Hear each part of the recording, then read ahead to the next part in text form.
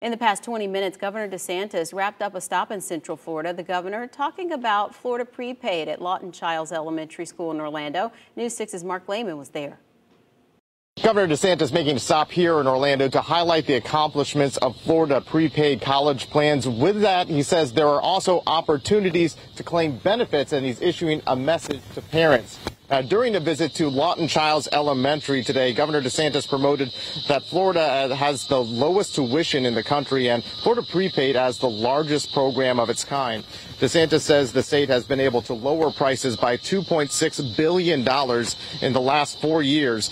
And as part of that, he says the board has authorized 850 million in refunds to Florida families. However, the governor also says $130 million is also waiting to be claimed and is urging parents to log on to their account and take advantage of any refunds that are available.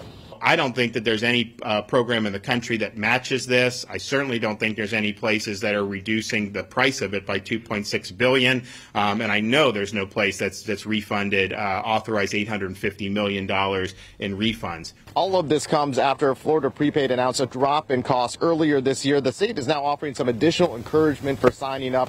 Anyone who signs up for the program right now is eligible for a $50 gift card, and that is available for parents who sign up through October 28. In Orlando, Mark Lehman getting results, News 6.